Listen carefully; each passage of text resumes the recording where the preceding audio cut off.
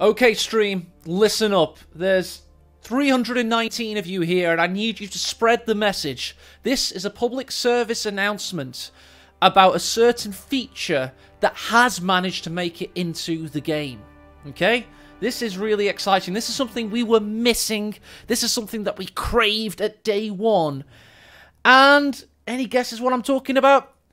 It's this. They managed to get leaderboards ready for us just about in time. Of course, there's been no official games quite yet, but they're there and you can see them.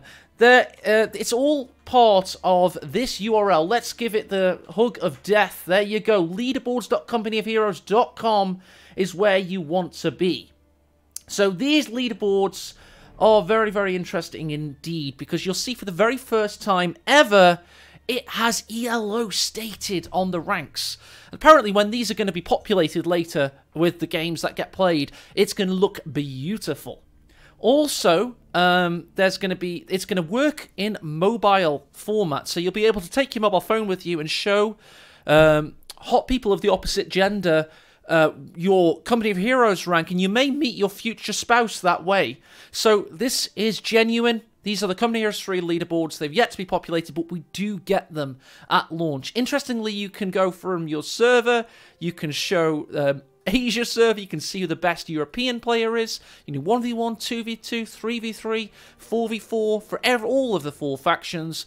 And this is all thanks to Relic and Crunch Relic. People like Marcus and Devim DevM at Relic Entertainment and others, I'm sure, have been crunching in time for the launch. And although John did allude to this in a post uh, yesterday in the FAQ section, I don't think people really understood what it meant by, you know, it being live. And, and it is going to indeed actually, actually, actually uh, have leaderboards. So let me just read a little bit about how they're going to work for you.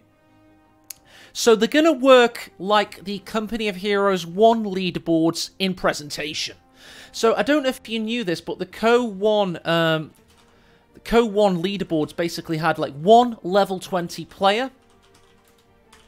Let me just show you actually. I can probably show you um, Co stats. Here we go. So if you go to here, you can see that there's leaderboards for Company Heroes 1. So in Company Heroes 1, there was one level 20 player, um, four level 19s, and then when it was working and the game was live in its glory days, it was the one of the best leaderboard systems I've ever seen. Like, you knew where you stood with Company Heroes 1, you knew how good a rank 10 was, or how good a rank 8 was, and you gradually, gradually rose up those ranks, and they really did matter. It felt like it mattered in Company of Heroes 1. Uh, Company Heroes 2, they kind of hodgepodge loads of systems at different points in time, and the ELO never really made that much sense. So they're starting with a presentation of the Co 2 style. But it works slightly differently. They have made some improvements. So I'll read this out. So in Co 1, you'd basically always start from level 1, and you'd have to earn each rank level while playing ranked games. In Co 2, instead, you started with an average ELO, which meant you automatically held a certain level, say level 10, winning or losing your placement games would get you higher or lower on the leaderboard. So by the end of 10 games, you could have a much higher or lower level than 10. In Co 3, we made that average starting ELO correspond to a much lower level. So if you lose games, you could go down to level 1, but if you win all of them, you shouldn't say get to level 20. So it really creates this stratified level system where a level 16 has earned that level 16. They're not some smurf account that got a, a five pound game key and spam 10 games against noobs to get like level 16. No, they're really putting strength in the ELO system. Um, so yeah, it's going to be really cool. It's presented like the Co 1 system with like one level um, 20, etc. And it works a little bit more like the Co 2 system. However, they've stratified it better and they've done a good job of it. And um, then in time, as they've always alluded, already alluded to, there will be season ranked, which will have a more more strict and accurate matchmaking system and it will be a ranked season, much like modern MOBAs, modern shooters, etc.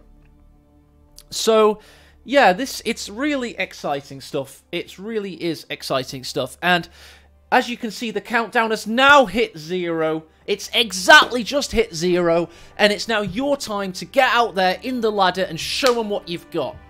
Um, we'll be watching, the casters will be watching, other players will be watching, your mates will be watching. You can go out there and start ranking up every bullet, every shell, every retreat, every capture now matters because we actually have leaderboards at launch. So, big public service announcement. Thanks so much, Relic, for crunching and getting this out, even when it looked like you may not be able to. It's really, really hype. And uh, thanks so much, all you lovely people, for watching.